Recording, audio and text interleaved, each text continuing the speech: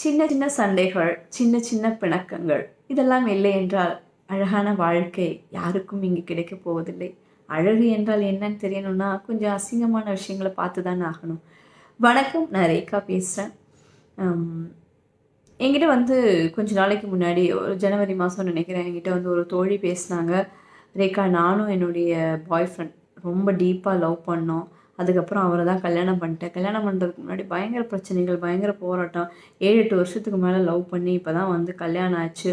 கல்யாணம் ஆனதுக்கப்புறம் ரொம்ப சூப்பராக அவ்வளோ பெரும் பிரச்சனைகளுக்கு அப்புறம் வந்து ஒரு குழந்தைய இருக்குது இப்போ குழந்தைக்கு அஞ்சு வயசு ஆயிடுச்சு குழந்தைக்கு அஞ்சு வயசு ஆயிடுச்சு கல்யாணம் ஆகி கிட்டத்தட்ட பதினாலு வருஷம் ஆயிடுச்சு. ரொம்ப அழகான வாழ்க்கையாக தான் போயிட்டு இருந்தது. திடீர்னு பார்த்தா ஒரு ஆறு வருஷத்துக்கு முன்னாடி லைட்டாக தொடங்கினாரு. நாலு வருஷமாக ரொம்ப டீப்பாக அடித்தா போதையோடு தான் வீட்டுக்கு வராரு. பயங்கர போதையாக இருக்காரு. மனசு ரொம்ப வலிக்குது. எனக்கு அவரை விடவும் முடியல அவரை திருத்தவும் முடியல. என்ன பண்ணுதுன்னு தெரில அவர் குடித்தா கூட பரவாயில்ல. எனக்கு அந்த குடிச்சிட்டு வர மனுஷனை ஏற்றுக்கக்கூடிய ஒரு மனநிலை எனக்கு வேணும் அப்படின்னு சொல்லி சொன்னாங்க. ஸோ ஸ்வீட்டில் குடிகாரன் நாயை அயோக்கிய நாயை இப்படிலாம் திட்டாமல் நீ விளங்காமல் போயிடுவ நாசமாக போயிடும் குடும்பம் வழங்காது உன் பிள்ளைகள்லாம் உன்ன மாதிரி ஆயிடுவாங்கன்னு சொல்லிட்டு எல்லா பெண்களை போல் திட்டாமல் ரொம்ப ஸ்வீட்டாக எனக்கு அவர் குடித்தா கூட பரவாயில்ல. ஆனால் என்கிட்ட இன்னும் கொஞ்சம் அன்பாக பழைய மாதிரி இருக்கணும் நான் என்ன பண்ணணும் அப்படின்னாங்க. உண்மையாகவே குடிக்கிற ஆண்களை அவ்வளோ சீக்கிரம் பெண்களுக்கு பிடிக்காது அந்த வாசம் பிடிக்காது. பெண்கள் குடிக்கிறாங்களே அப்படின்னு நீங்கள் கேட்குறது எனக்கு கேட்டுச்சு.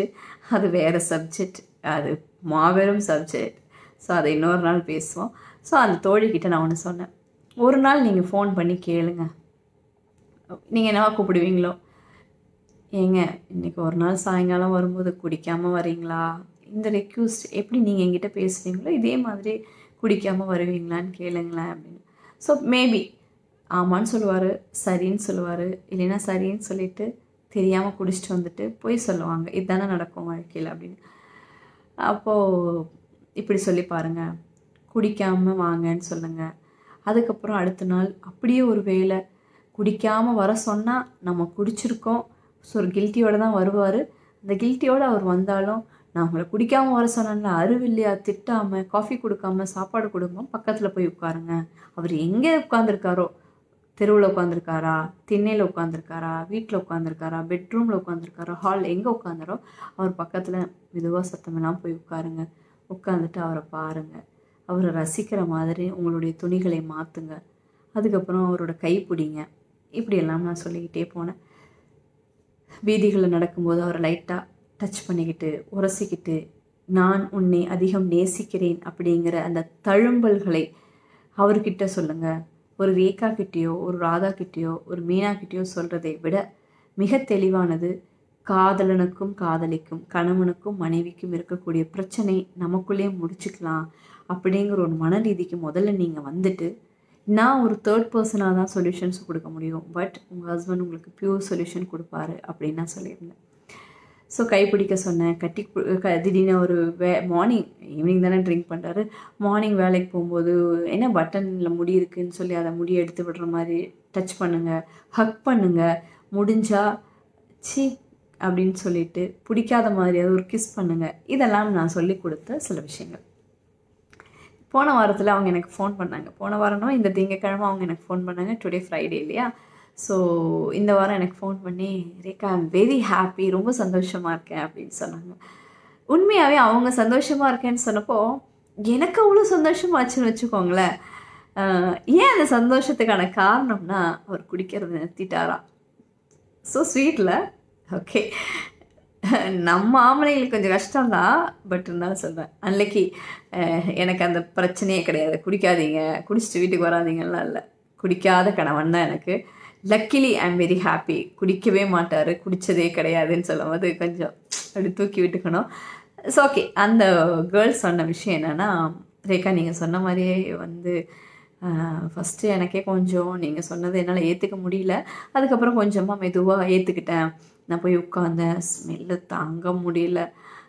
என்ன கருமத்தை குடித்தாருன்னே தெரில தாங்க முடியல. பட் இருந்தாலும் பிடிச்சி உட்காந்துட்டேன் சந்தனத்தை இங்கெல்லாம் தேய்ச்சிக்கிட்டு அதை லைட்டாக வாஷ் பண்ணிட்டு அந்த ஸ்மெல்லோடு இருந்துச்சு நான் உட்காந்துட்டேன் அடுத்த நாள் அவர் குடிச்சிட்டு வந்தப்போ ஈவினிங்க எனக்கு ஒரு மாதிரி தலை வலிக்குதுங்கன்னு சொல்லி அவர் மடியில் படுத்துட்டேன் அப்படி. ரெண்டாவது நாள் அவர் ட்ரிங்க்ஸ் பண்ணிட்டு வந்தார். நானே கை பிடிச்சிட்டு ரொம்ப ட்ரிங்க் இல்லைன்னு நான் வாங்க சாப்பிட்லாம் எனக்கு பசிக்குது அப்படின்னு சொல்லிட்டு நானே கம்பல் பண்ணி அவரை சாப்பிட வச்சேன். ஒரு ஆறு நாள் ஏழு நாள் முடிஞ்சதுக்கப்புறம் அவர் குடிச்சிட்டு வர்றது கொஞ்சம் கம்மியான மாதிரி எனக்கு தோணுச்சு பட் கம்மியாச்சான்னு எனக்கு தெரியாது. அவர் பெட்டில் படுத்து படுத்து பெட்டில் வந்து படுத்து அழுதுட்டு இருந்தார் அப்படின்னாங்க. ஓகே எனக்கு ரொம்ப சந்தோஷம். ஏன்னா ஆண்கள் வந்து தன்னுடைய தவறுகளை உணர்ந்துக்கிட்டாங்க அப்படிங்கிறது ஒரு பெரிய அது மன்னிப்பு இல்லையா? Oh, ஓ கிரேட் அப்படின்னு எனக்கு சந்தோஷம் வந்துச்சு. ஓ ஸோ ஸ்வீட் இல்லை ஹஸ்பண்டுக்கு தேங்க்ஸ் சொல்லுங்கள் அப்படின்னு. நானும் அழுதேன் அவரும் அழுதார். எனக்கு என்னன்னு தெரில பிடிச்சி நான் குடிக்கல.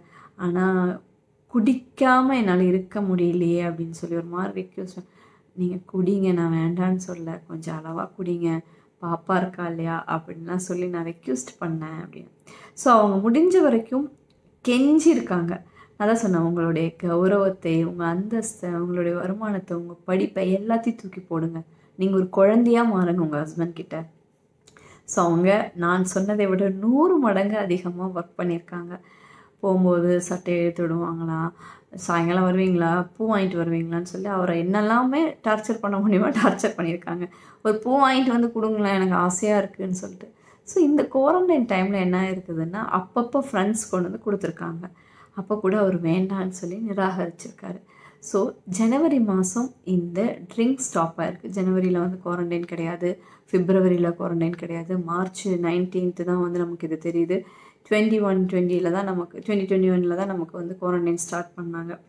அது வரைக்குமே இந்த ஜனவரியிலேருந்து கிட்டத்தட்ட ஒரு எயிட் மந்த்ஸாக வந்து குடிக்கவே இல்லைங்க அப்படின்னு சொல்லி எனக்கு சொன்னாங்க. ஐ எம் வெரி ஹாப்பி அதுக்கப்புறம் அவர் என்ன சொல்லியிருக்காருன்னா இனிமேல் இந்த குழந்தைக்கு அவருடைய பெண் குழந்தை ஒன்று இருக்குன்னு சொன்னானே அந்த குழந்தைக்காக இனிமேல் ட்ரிங்க்ஸ் பண்ண மாட்டேன் அப்படின்னு சொல்லியிருக்காங்க.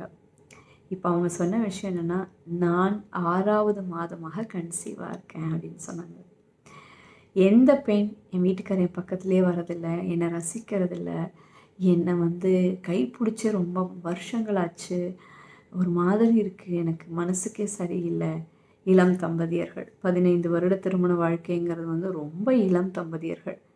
எனக்கு ரொம்ப ஆச்சரியமாக இருந்துச்சு. இப்போ அவங்க கன்சீவாக இருக்காங்கன்னு சொன்ன உடனே. ஒரு சிங்கக்குட்டி வரப்போகிறான்னு சொன்ன உடனே உடனே நான் அந்த ஹஸ்பண்டுக்கு தேங்க்ஸ் சொல்லுங்கள் இல்லை ரேக்கா இந்த ஃபோர் ஃபைவ் மந்த்ஸாக அவர் என்னை எப்படி பார்த்துக்கிறதுன்னு சினிமாவில் வர மாதிரி பார்த்துக்கிறாரு அந்த தாரமே தாரமே பாட்டில் வரும்ல அந்த மாதிரி பார்த்துக்கிறாரு டெய்லி ஒரு ரெண்டு மூணு வாட்டி அந்த பாட்டை நாங்கள் ரெண்டு பேரும் கேட்டுடுறோம் பாப்பா தூங்கினதுக்கப்புறம் இன்னுமே ரொம்ப சந்தோஷமாக நாங்கள் எங்கள் லைஃப்பை என்ஜாய் பண்ணுறோம் பட் நான் எவ்வளோ கோபக்காரி இவ்வளோ பொறுமையாக எனக்கு இருந்ததே இல்லை. என் ஹஸ்பண்ட் வேணும்னு முடிவு பண்ணதுக்கப்புறம் நீங்கள் எல்லாத்தையும் தூக்கி வீசிட்டேன். பட் ரெண்டு மூணு டைம் மாதத்தில் உங்களை தொல்லை மட்டும் பண்ணிட்டேன். மன்னிச்சுக்கோங்க அப்படின்னாங்க. எனக்கு அந்த மன்னிப்பு இல்லை. ஒருவேளை பெண் குழந்தை பிறந்தா அவங்க பேர் தான் வைப்பேன்னு சொன்ன உடனே எனக்கு ஆனந்த கண்ணீர் வந்துடுச்சு. சரி. அந்த பெருமை பாடுறதுக்காக இல்லை. ஸோ லைஃப்பில் வந்து மதுவை நிறுத்துறது மதுவை ஸ்டாப் பண்ணுறது மது குடிக்காமல் இருக்கிறது இது வந்து ஒரு பெரிய சவாலான ஒரு விஷயம். அந்த சவாலான விஷயங்களை நம்ம கண்டெடுத்து எல்லாத்துக்குமே அட்வைஸ் பண்ணுறது ஈஸி பட் அந்த அட்வைஸை அட்வைஸாக எடுத்துக்காம ஒரு லைஃப்பை ஒரு லயத்தோடு கொண்டு போங்களேன் திட்டினாரா அன்னைக்கு கேட்டுக்காதீங்க எதையும் நீங்கள் தப்பு பண்ணியிருக்கலாம் அல்லது அவர் தப்பு பண்ணியிருக்கலாம். என்ன விஷயம் வேணாலும் இந்த மாதிரி அப்ளை பண்ணுங்கள் நீங்கள் எவ்வளோ படித்த ஒரு ஐஏஎஸ் ஆஃபீஸராக இருக்கலாம் ஒரு கலெக்டராக இருக்கலாம் ஒரு இன்ஜினியராக இருக்கலாம் இல்லை நீங்கள் தான் ஒரு பெரிய நிறுவனத்தையே தாங்கி குடிக்க ஒரு பெண்ணாக இருக்கலாம். பட் நம்ம புருஷன் என்ன தப்பு பண்ணிட்டு வந்தாலும் சரி குடிச்சிட்டு வரட்டும். நிறைய தம் அடிச்சிட்டு வரட்டும். அவருக்கு நம்முடைய அன்பு தான் அவரை சுத்தம் செய்யும். நம்மளுடைய பொறுமை தான் அவரை மாற்றும் நம்மளுடைய அந்த பொறுமையான அன்பு இருக்குது பாருங்க அதுதான் கழுவும். எந்த ஜெபமும் எந்த கடவுளும் எந்த விஷயமும் பண்ணாத ஒன்று அன்பு பண்ணும். அதே அன்பு நீங்கள் கொடுக்கலைன்னா அப்படியே ரிவைஞ்சாக ஆப்போசிட்டாக மாறக்கூடிய சான்சஸ் இருக்குது ஸோ எனக்கு அந்த தம்பதி வந்து நூறு தம்பதிகளுக்கு சமமாக தோணுச்சு. ஒரு வேலை பார்த்துட்ருக்கிற பெண்கள் ரொம்ப கோபக்காரங்க தான். புருஷன் குடிச்சிட்டு வந்தேன்னா நாயை பேய விளங்காதவனை என்னெல்லாம் திட்ட முடியுமோ திட்டுவோம். குடிகார அயோக்கிய ராஸ்கள் என் வம்சத்தை அழிக்க வந்தவன் என்னெல்லாமா பேசுவோம் பேசக்கூடிய நாட்களில் தான் இருந்திருக்கிறோம். ஸோ வாழ்க்கையில் மாற்றம் ஒன்றே மாறாதது. சின்ன சின்ன மாற்றங்களை சந்தியுங்கள். லைட்டாக இயற்கையோடு வாழ கற்றுக்கோங்க இயற்கையில் பூக்களை மலர்களை மழைகளை அதோடு வாழும்போது அது கூட சேர்ந்து நீங்களும் நடங்க. என் புருஷன் எவ்வளோ அழகு. என் புருஷனை மாதிரி கெத்து யாருக்கும் இல்லை என் புருஷன் சம்பாதிக்கிட்டு வர ஐம்பது ரூபா போதும். அந்த ஐம்பது ரூபாயில் நான் ஐயாயிரம் கோடி வாங்குற மாதிரி சந்தோஷத்தை கஷ்டம்தான். எல்லாமே கஷ்டம்தான். பட் நான் ஹாப்பியாக இருக்கேன். இட் மீன்ஸ் ரேகா ரொம்ப ஹாப்பியாக இருக்கா. என்ன கிடைக்குதோ எது இருக்கோ அதை வச்சு ரொம்ப ஹாப்பியாக இருக்கேன். ஸோ என் ஹஸ்பண்ட் தண்ணி அடிக்க மாட்டார் என் ஹஸ்பண்ட் தம் அடிக்க மாட்டார். இதெல்லாம் நான் பண்ணினதில்லை. எனக்கு என்ன பிடிக்காதோ அதெல்லாம் எதுவுமே என் ஹஸ்பண்ட் கிட்ட இல்லை. பட் அவருக்கு பிடிக்காதது எல்லாமே என்கிட்ட இருக்குது நான் நிறைய பேசுவேன் நிறைய வெளியே போவேன். மீடியாவை பிடிக்காதுன்னு சொன்னேன் பட் எனக்கு மீடியா நான் ரொம்ப பிடிக்கும். இதெல்லாமே இருக்குது பட் அவர் அட்ஜஸ்ட் பண்ணி என்ன வாழ்கிறார் எங் எங்கிட்ட அவர் வந்து ஒரு ஒரு அப்பாவாக இருக்கார். ஒரு குழந்தையாக நான் மாறிடுவேன். அடம் பிடிப்பேன். கேட்டதெல்லாம் வாங்கி தருவார். ஸோ கொஞ்சம் அட்ஜஸ்ட்மெண்ட் அந்த பக்கம் ஒய்ஃப் அட்ஜஸ்ட் பண்ணாங்க இந்த பக்கம் ஹஸ்பண்ட் ஒய்ஃப் ஹஸ்பண்ட் அட்ஜஸ்ட் பண்ணாங்க. ஸோ ஹாப்பியாக இருக்குது லைஃபு சண்டைகளே கிடையாது. இன்னைக்கு வரைக்கும் என்னை திட்டினது கிடையாது. என்னை அடித்து கை வச்சதே கிடையாது. என் டாட்டரை கை வச்சது கிடையாது. ஸோ வெரி ஹாப்பி லைஃப் அதே மாதிரி ஒரு hap hopefully super fantastic beautiful happy life உங்களுக்கு கிடைக்கணும்னு ஆசைப்பட்றேன். தேங்க்யூ ஸோ மச் நீங்களும் என்ஜாய் பண்ணுங்கள் ஹாவ் குட் டே